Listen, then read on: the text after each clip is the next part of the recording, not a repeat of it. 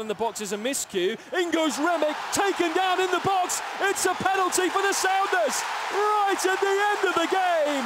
What a moment this is. Incredible drama. It's a penalty. Long run up, right footed. Hits it, scores! Brad Evans gets the goal. He looks at the keeper as if to say, You very much deserve that. The keeper tries to kick the ball at Evans. There's now a mass ruckus